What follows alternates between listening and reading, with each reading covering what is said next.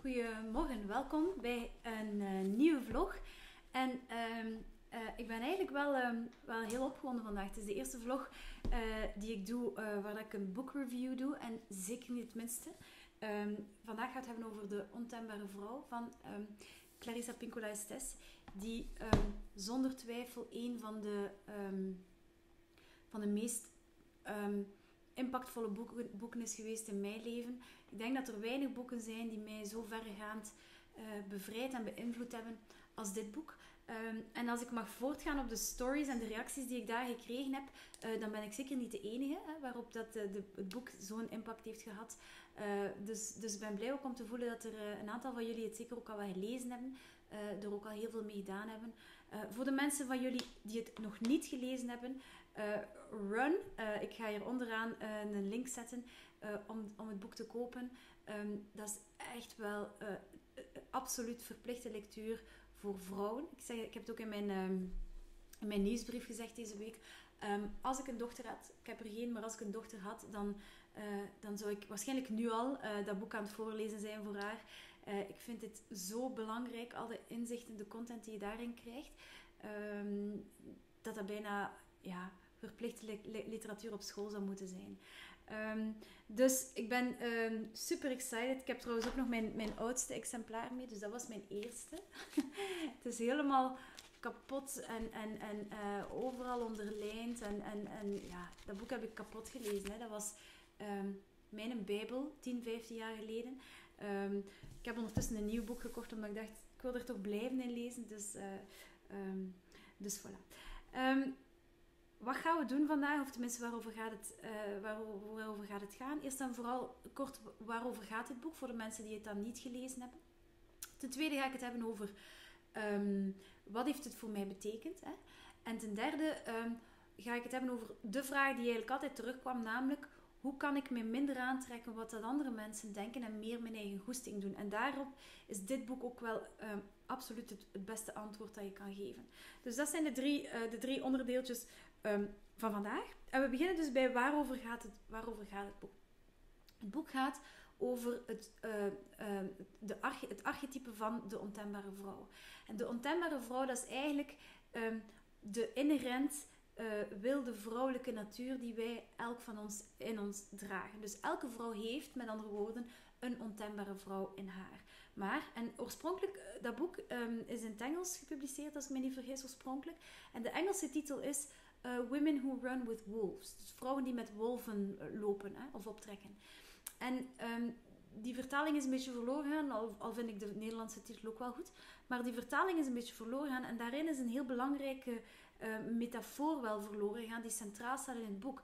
En die um, Clarissa Pinkola Estes, dus de auteur, ook in de inleiding um, schetst. Namelijk, net zoals dat wij voor een stukje ons ontzag, ons respect voor de wilde natuur in de buitenwereld verloren zijn, um, zijn we die ook voor een stukje verloren in de binnenwereld. Hè? Dus dat is ook zeer eh, dat, is een, dat is ook een wet van de alchemie, ook een heel spirituele wet. Um, as above, so below. Hè? Zoals het in de buitenwereld is, zo is het in de binnenwereld. Ja? Dus het feit dat wij vandaag, zoals dat we met wilde dieren omgaan, ook omgaan met wilde dieren en wilde natuur in het algemeen, ook omgaan met de wilde vrouwelijke natuur, zorgt ervoor dat wij vrouwen ook in onze, um, in onze psyche weinig respect nog hebben voor uh, onze wilde natuur. Hè?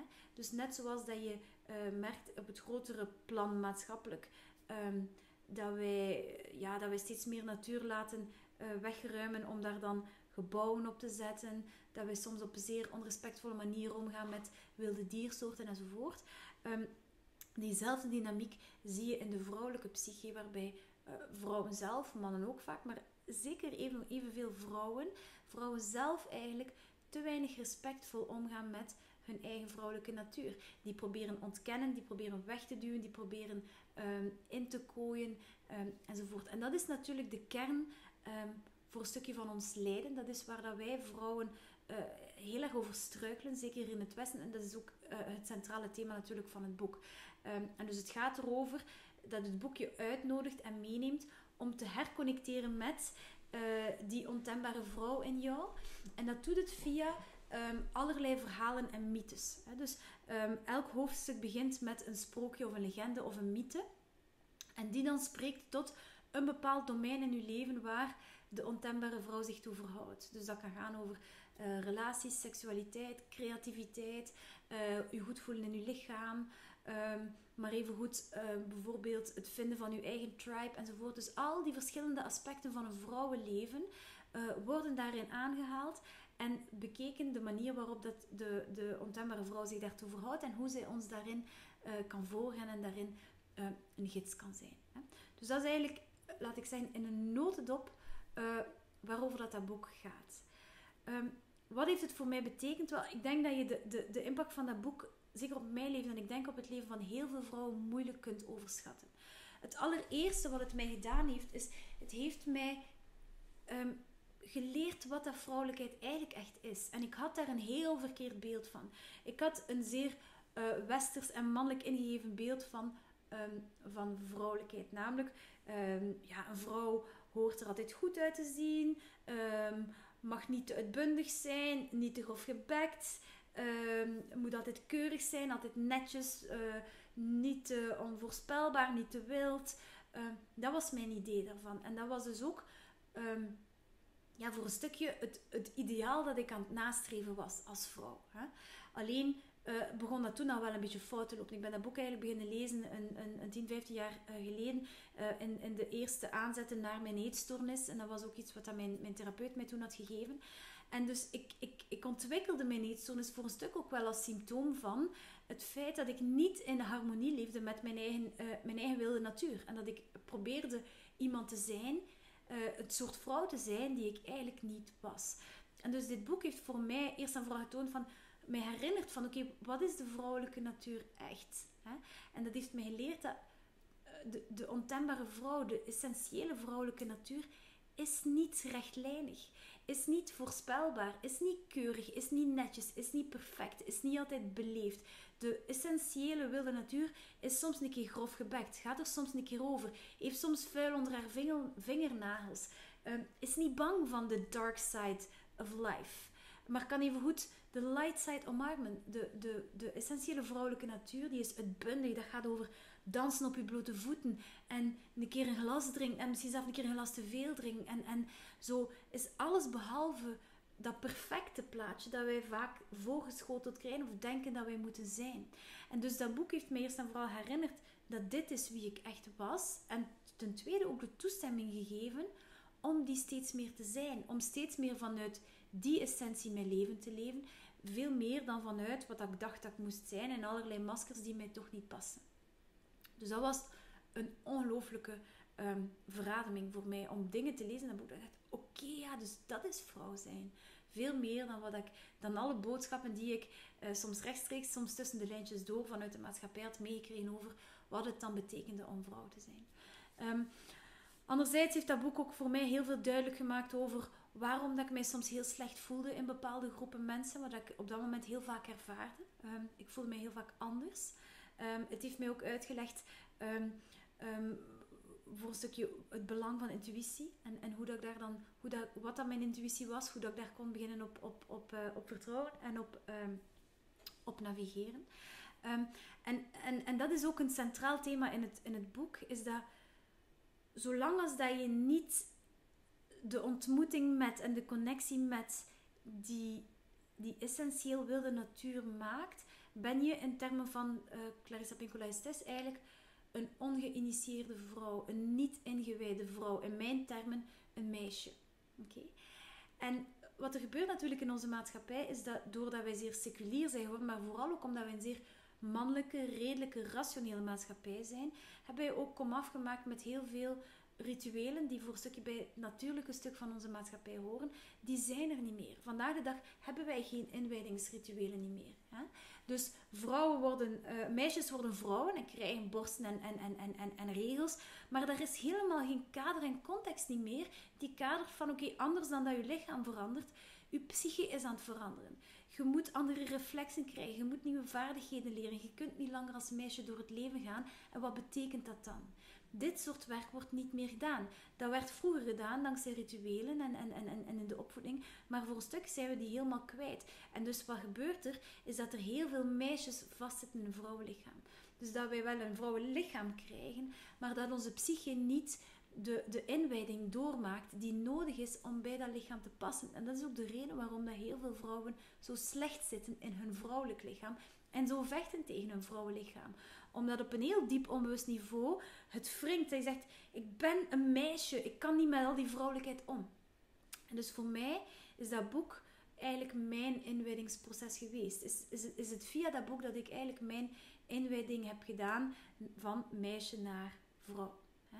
En um, waarom is dat natuurlijk belangrijk? Omdat een vrouw die niet ingewijd is, um, die is voor een stuk, um, die is voor een stuk heel kwetsbaar in het leven. En dat is eigenlijk kan je dat voor een stukje ook weer vergelijken met bijvoorbeeld een dier, een wild dier, dat je uit zijn, uit zijn habitat haalt, dat je eigenlijk doet opgroeien, bijvoorbeeld, eh, laten we zeggen, nu een wolf. Hè? Pak een wolf uit als, als klein babywolfje uit zijn context en laat hem opgroeien bij mensen. Dan zal hij heel wat van zijn instinctieve natuur verliezen, van zijn instincten afleren, wordt voor een stuk gedomesticeerd.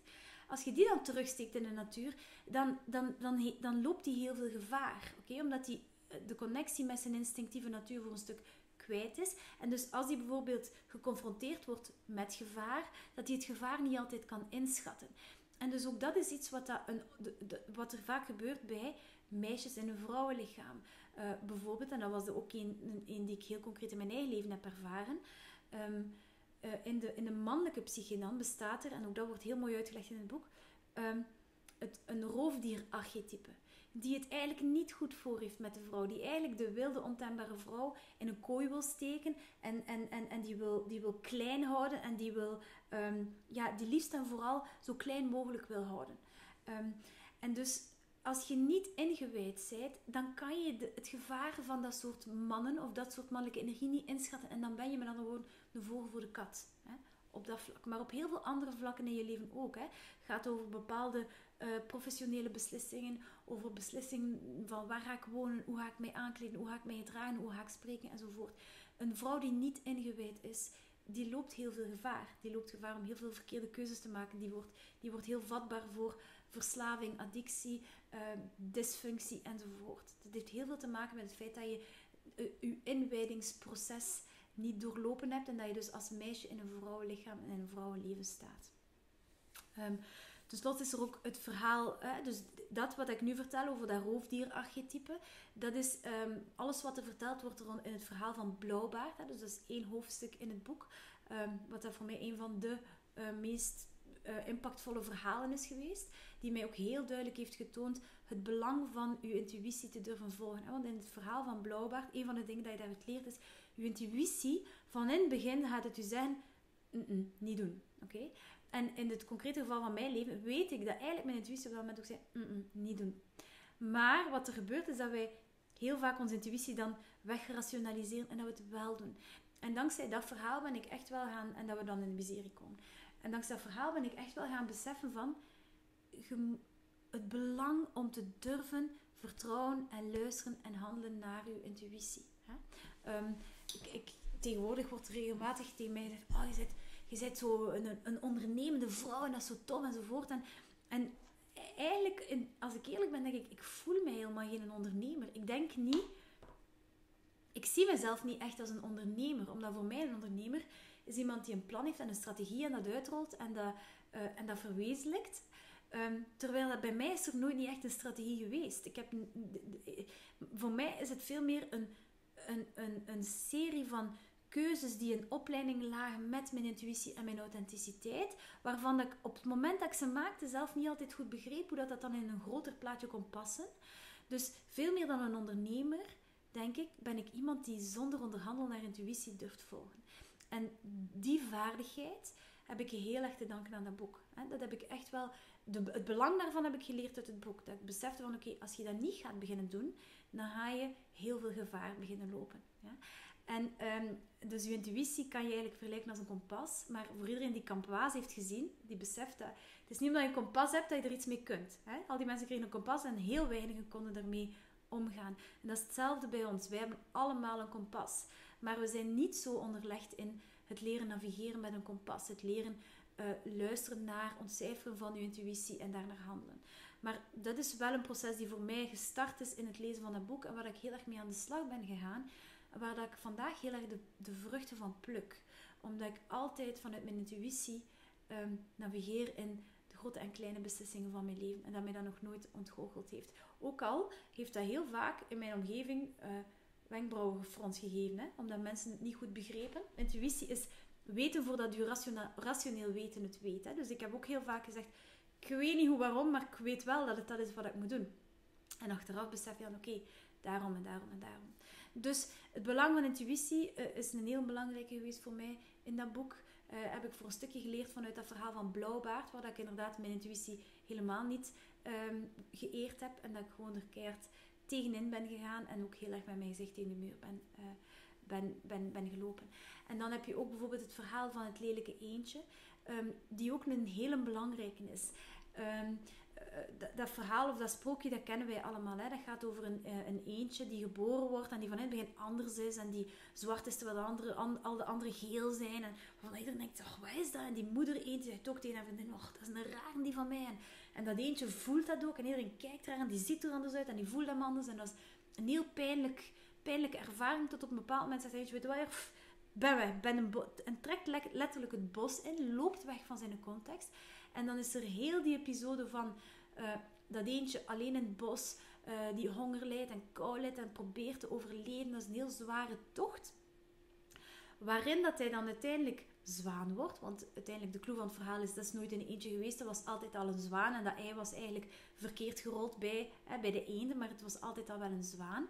En door heel zijn tocht in het bos uh, wordt hij ondertussen zwaan. En na heel zijn tocht ontmoet hij zijn andere zwaan. Vindt hij zijn tribe en kan hij verder.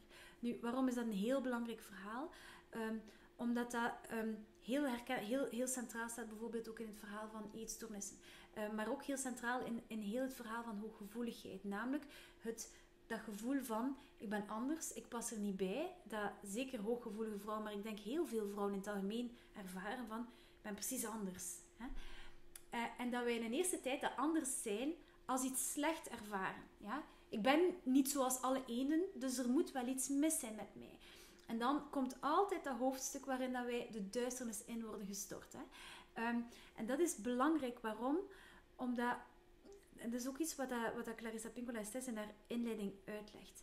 Het belang van dit soort um, van verhalen, van archetypes, um, als ondersteunende factor in het doormaken van dit soort levenscrisis kan niet overschat worden. Dankzij haar uitleg over sprookjes zoals uh, het lelijke eendje, ben ik kunnen beginnen begrijpen in mijn leven bijvoorbeeld dat, dat, dat, dat, niet, dat, dat, dat, dat er niets mis was met mij. Ben ik kunnen heel dat proces van ik voel mij anders, maar dat is niet erg.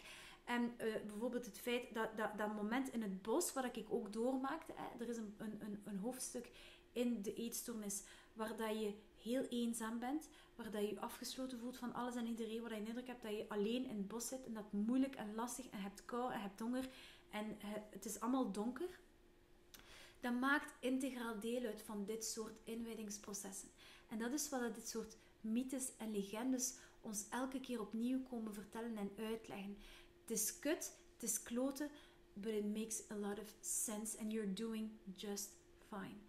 En dat is natuurlijk iets, en dat is wat ik bedoel, in die inleiding spreekt uh, uh, daar ook over, of um, in Sounds True spreekt ze over haar als CPE. Hè.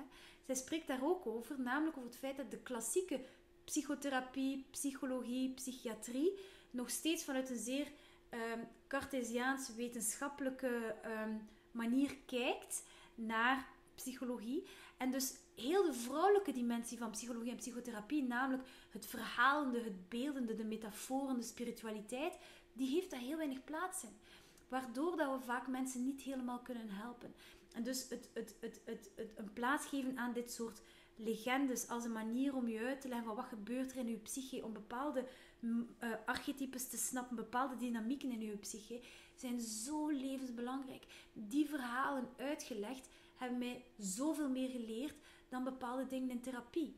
En dus ook dat vind ik zo belangrijk aan dat boek. Het is een zeer vrouwelijk, ehm, vrouwelijke manier om levenscrisissen ook aan te pakken. Dus het verhaal van Blauwbaard, het verhaal van het lelijke eentje. Het leren volgen van, van je intuïtie zonder erover te onderhandelen. Ehm, het, het leren of het, het bewust worden van het gevaar dat je loopt als je niet door je inwijdingsproces heen gaat. Dat zijn allemaal zeer belangrijke dingen die ik uit dat boek geleerd heb. Um, en tenslotte, denk ik, heeft dat boek er vooral voor gezorgd dat ik echt hartstochtelijk verliefd ben geworden op vrouw uh, zijn. Dus um, dat heeft mij de toestemming gegeven om mijn vrouwelijkheid in al haar, in al chaos en uitbundigheid en, en beautiful mess te omarmen en van daaruit te leven. En sindsdien is mijn leven ja, nooit meer hetzelfde geworden. Het heeft al zoveel schoonheid en intensheid in mijn leven gebracht. Um, dus dat is misschien het laatste, maar zeker niet het minste wat ik um, uit dat boek heb gehaald. En dat brengt ons dan bij het laatste stukje, namelijk de vraag uh, die een aantal keer teruggekomen is in de stories. Wat kan ik doen aan mijn angst om, um, um, om anderen te ontgoochelen uh, of om, om niet perfect te zijn of aan, mijn, aan, de waarde die ik bijvoorbeeld nog hecht um, aan, aan de mening van anderen. Hè. Dat is iets uh, heel herkenbaar voor mezelf. Ik ben er ook heel lang in geweest. Uh, maar het is ook heel vaak iets wat ik zie in mijn praktijk, net omdat het zo symptomatisch is van een vrouw die niet ingewijd is. Dus een meisje in een vrouwlichaam of een meisje in het algemeen of de ongeïnitieerde vrouw, de vrouw die haar, die haar uh, essentieel wilde natuur niet, nog niet ontmoet heeft, die is heel wankel. Die, die um, die valt voor haar, haar, haar sense of self, haar zelfvertrouwen, haar zelfbeeld, haar eigenwaarde, haar goed gevoel over zichzelf, valt die grotendeels terug op de commentaren en de goedkeuring en de toestemming van de buitenwereld, omdat ze niet die link heeft met haar eigen innerlijke wereld. En dat is juist het juweel dat je vanuit dat boek ook kunt krijgen, is als je leert die connectie maken met je eigen zelf en dat je van daaruit je, goedkeuring krijgt, dan word je voor een stukje ook immuun voor wat dat andere mensen daarvan denken. Dus als je voelt van, oké, dit is wat mijn intuïtie me vraagt en ik begin mijn intuïtie meer te respecteren dan de mening van een ander, dan word je ineens vrij om echt je leven te leiden en vanuit, volop vanuit je missie en hier te komen doen wat je hier moet komen doen. Um, in de inleiding, in dus de nieuwe editie die ik, die ik hier nu heb, uh, in de Nederlandse uh, editie is er een voorwoord van Suzanne Smit, die een, een, uh, een heel mooie Nederlandse auteur is, ook die heel vaak in happiness schrijft en zo. Um, en die schrijft um, over dit boek, en dat vond ik heel mooi, ze schrijft... Um, behaagzucht, een lief meisje of een goede vrouw willen zijn, gaat ten koste van je ware natuur. Dat is de essentie. Is, het is niet en-en. Het is een either-or kind of thing. Ofwel ben je in die, loop je vast in de behagersrol, in het willen altijd goed bevonden worden door anderen. En dan ga je per definitie in tegen je essentieel wilde natuur, die niet zo is. Die uw ontembare vrouw, she can care less wat iemand anders daarvan vindt. Um, ik weet dat mijn therapeut, die mij dus ook dit boek gegeven heeft, op een bepaald moment zei: um, oh, Ik vind dat zalig van de mensen zo'n keer te choqueren. En ik weet dat ik toen dacht: huh? Ik vond dat tegelijk zo cool en zo onbegrijpbaar dat iemand dat tof kon vinden om mensen te choqueren. Maar nu snap ik door het, door het proces dat ik zelf doorlopen heb, en ik heb hetzelfde. Ik vind het zalig om puur vanuit mijn eigen ja dingen te doen waar dan mensen misschien niets van begrijpen. Maar omdat die link met mezelf zo sterk is, I don't really mind. En dat is gewoon een, een, heerlijke, een heerlijk klimaat om in te leven als vrouw. Um, maar het vraagt wel dat inwijdingsproces. Hè? En daarin is dat boek opnieuw een zeer, goeie, een zeer goed beginpunt. Therapie is een zeer goed vervolg. Um, maar dus het, het, het, het idee is dat je kunt niet en in je masker van perfecte vrouw, van behager zijn, van altijd vriendelijk, altijd beleefd, nooit niet boos, nooit niet kwaad enzovoort. En tegelijk uh, je innerlijke natuur eren. Als je kijkt naar de wilde natuur in de buitenwereld, is dat ook zo de wilde natuur, die is niet netjes. Die is chaotisch. Die is soms een keer heel wild. Die is soms een keer heel kwaad. Een wolvenmoeder, die is niet altijd lief, hè. Heel vaak gaat die met haar wolvenklauw heel, heel agressief soms tussenkomen. Hè? Maar ook dat is iets wat wij absoluut niet met vrouwelijkheid vereenzelvigen. Hè? Terwijl dat dat dat wel centraal staat in de essentiële vrouwelijke natuur. Uh, namelijk dat je je wolvenklauw kunt uithalen af en toe. En dat je kunt zeggen, not on my watch. It's not gonna happen. Al moet ik mij daarmee heel onpopulair maken en heel misbegrepen maken enzovoort. En dus dankzij dat boek krijg je echt wel de toestemming om niet te moeten begrepen worden. Dan, dan begin je te voelen van dit, is, dit hoort bij mijn rol. En als je zelf die toestemming geeft, dat je niet meer de anderen nodig hebt om te applaudisseren voor jou, dat je niet meer nodig hebt dat anderen jou begrijpen, dan word je vrij om effectief wel jouw intuïtie te gaan volgen, vanuit jouw intuïtie te leven en echt wel het leven te leiden dat je bestemd bent om te leiden. En wat dat je gaat merken, paradoxaal genoeg, is dat je niet minder, maar meer vrienden, meer erkenning gaat krijgen. Misschien niet op korte termijn, maar op lange termijn. Mensen, mensen, um, mensen voelen die, die ontembare wilde natuur aan. En heel vaak is het iets wat dat mensen onweerstaanbaar mooi vinden. En vooral, het is iets wat, dat, wat dat jou um, zoveel zelfvertrouwen gaat geven dat je effectief um, ja, het heel moeilijk gaat beginnen vinden om het nog op een andere manier te doen. Dus ik ga de quote nog een keer opnieuw lezen, want ik vind hem zo straf. Behaagzucht. Een lief meisje of een goede vrouw willen zijn gaat ten koste van je ware natuur. Je veilig voelen in bestaande structuren of zelfs in onzichtbaarheid of gevangenschap heeft een hoge prijs. Het opgeven van je innerlijke licht en je ware kracht. Dus opnieuw, je betaalt een hele hoge prijs voor die behagersrol, voor uh, de goedkeuring die je misschien tijdelijk vindt in het doen wat je denkt dat iedereen van je verwacht. Namelijk, je geeft je licht op, je geeft je kracht op, maar vooral je geeft ook op wat dat je hier moet komen doen. De missie die je hier moet komen leven, die zit, die, die, u, dat is precies, dat plan heeft u ontembare vrouw. En je moet durven in contact komen met haar en durven luisteren naar haar en durven samen haar op pad gaan. En ik beloof u, als je dat doet, dan, dan, dan stap je in zo'n nieuw soort leven um, waar dat je mij en Clarissa Pinkola Estes um, de rest van je dagen heel erg dankbaar gaat voor zijn. Dus voilà. Uh, ik denk dat dat het was. Uh, ik vermoed dat je uh, waarschijnlijk net zo enthousiast bent als mij. En um, vergis je niet, ik ben het niet aan het overdrijven. De, de impact van dit boek is echt wel groundbreaking.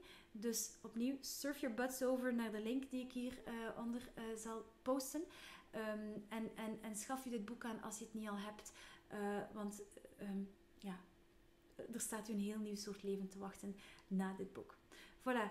Uh, dankjewel dat je er was. Als je dit waardevol vond, um, deel het gerust. Stel jezelf ook de vraag: wat kan ik hiermee? Op welke manier kan ik dit omzetten in een actie? Waar ben ik nog Waar kan ik iets wilder worden misschien in mijn leven? Waar kan ik, voor de mensen van jullie die, die zich afvragen, hoe ziet dat er dan uit heel concreet in mijn leven? Uh, in, de, in de podcast van Heksen dragen sneakers heb ik, uh, spreek ik helemaal in het begin over mijn cowboy-archetype. En dat is eigenlijk mijn woord voor de ontembare vrouw in mij. En ik ga daar redelijk in detail over hoe dat ziet dat dan uit in mijn leven. Dus als je nog wat meer vlees rond dit topic wilt, um, ik zal hem ook posten in de, in de comments uh, eronder. De podcast van Heksen dragen sneakers, daarin spreek ik nog ietske, nog ietske meer. Maar dus stel jezelf de vraag, bijna als, als, als Um, als opdracht na deze podcast zodanig, of na deze vlog, zodanig dat hij extra waardevol wordt voor jou. Waar kan ik iets meer mijn cowboybot nadoen? Waar kan ik iets meer vanuit mijn wilde natuur, uh, zonder dat mij te veel aantrek? Wat is dat ene ding dat ik zou kunnen doen waarbij ik echt wel al een stap in die richting ga zetten. Deel het ook uh, in de comments of deel het via Instagram, deel het uh, via een berichtje naar mij of via een mail. Ik vind het altijd heel cool om te lezen wat jullie er allemaal mee doen. Deel deze vlog met mensen waarvan je denkt, oeh, die zouden er echt wel iets aan hebben. deel het op je social media. Dat helpt mij ook um, natuurlijk om te zien, om, om meer mensen te bereiken die ik anders niet zou bereiken. Um, en voilà, voor de rest wens ik jullie een, een, een geweldig schoon weekend toe. En zie ik jullie heel graag volgende week terug voor een nieuwe vlog. Bye bye.